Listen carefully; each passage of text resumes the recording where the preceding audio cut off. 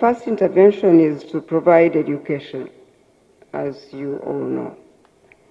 Our girl child needs education, both academic knowledge and sensitization on social and moral behavior. The Education Act 13 2008 reinforces education as a right of all persons.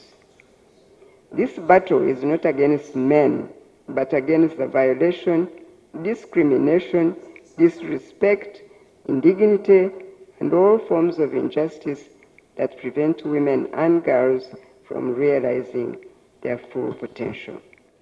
And Uganda has one of the highest rates of early marriages in the world, with 40% of girls marrying before the age of 18.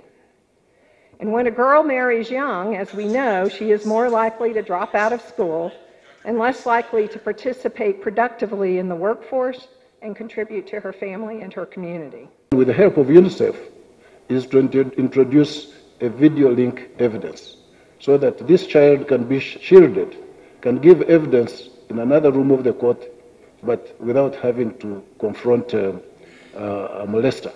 We want to prioritize sexual and gender-based violence cases. And uh, the principal judge is here. We've been uh, having a conversation whether we shouldn't actually have a special court to deal with these cases more than anything instead of mixing them up altogether.